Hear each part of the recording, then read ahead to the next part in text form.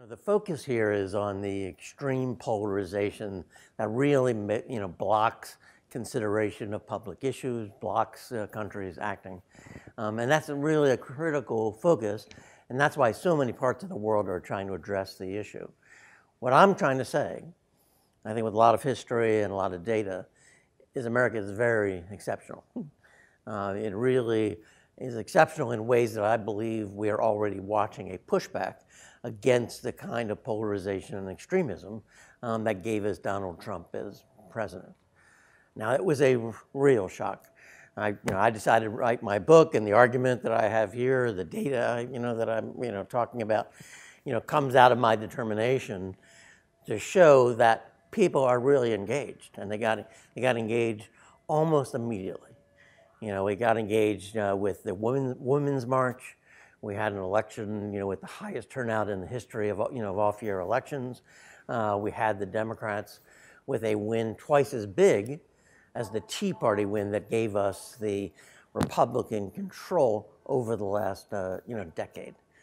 So that, you know, should push us to like step back.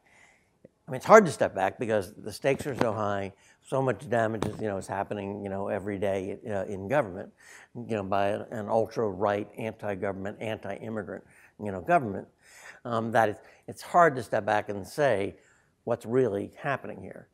But what's really happening is we have a Republican Party that at each juncture where we have made big choices about how we become more free as a country or more democratic as a country, at each point, when we face these big choices, they decided to resist the changes. You know, the first change was the civil rights laws uh, in the mid 1950s that gave us uh, racial equality. Then they fought the immigration laws that the two parties uh, together in a bipartisan way had created increased immigration and grew the foreign population, foreign, foreign-born population in the United States. Um, both parties face the Supreme Court decisions on abortion. Uh, the Republicans chose to make a constitutional amendment their highest priority, and still, whereas the Democrats accepted, you know, that uh, decision. And then it all came to fruition with the election of an African American president, Barack Obama. Uh, and that was div divisive in ways we really didn't really understand until now. You know, obviously it was divisive. We had a financial crisis at the time, and so we were all focused, you know, on that. But the Tea Party revolt, the social movement, the revolt against him, which changed the Republican Party and gave the Republicans control of all the states, the Congress as well. And they basically tried to stop government from functioning.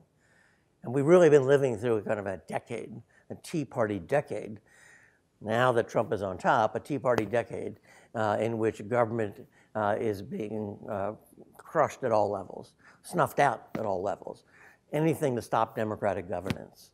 Uh, and it's produced a kind of a building frustration uh, with the state of the country, with government. And that was true, though, until Trump got elected. You know, in 16, you had change candidates running on both sides. Donald Trump was a change candidate, was actually for government. Bernie Sanders ran on the Democratic side, was also change and, you know, and for, you know, for government. Donald Trump became only an anti-government candidate as president. Um, and that really shocked people and shocked people into, into action.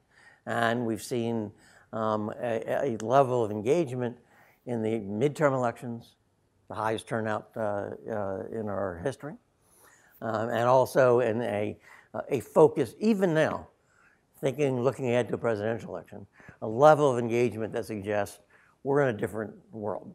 People are resisting, they're pushing back, they're becoming more pro-government, more pro-immigration.